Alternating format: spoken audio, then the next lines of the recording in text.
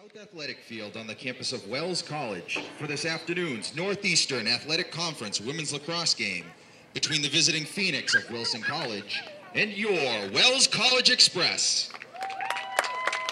Before we meet the starting lineups for both teams, let us first honor and recognize the two graduating senior student athletes from Wilson College. Ladies and gentlemen, from Martinsburg, West Virginia, number 11, Kaylee Oliver.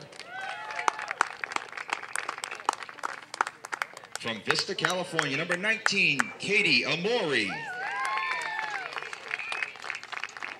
On behalf of the Wells College Department of Athletics, we wish you all the best in your future endeavors.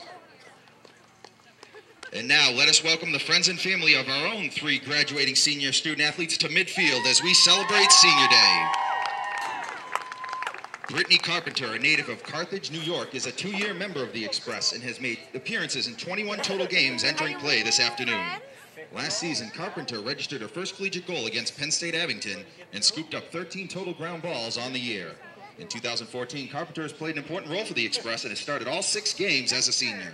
She will graduate this spring with a degree in history with a minor in anthropology. Ladies and gentlemen, number 10, Brittany Carpenter. Chelsea Dann, who hails from Flagstaff, Arizona, has played three years of varsity lacrosse for the Express. After playing her first season as a defenseman, Dann has served as a starting goaltender for the past two seasons. She has picked up seven victories for Wells in two years, entering this afternoon, and boasts a career goals against average of 11.72. Last season, she ranked fourth in the league in goals against average while making the conference's fourth most saves. She will graduate with a degree in biology.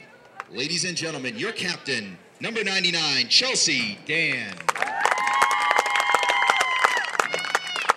Brittany White, a native of Lewiston, New York, is the team's lone four-year women's lacrosse player. Since joining the team in 2011, White has played in 38 games entering this afternoon and has caused 21 total turnovers on defense for the Express.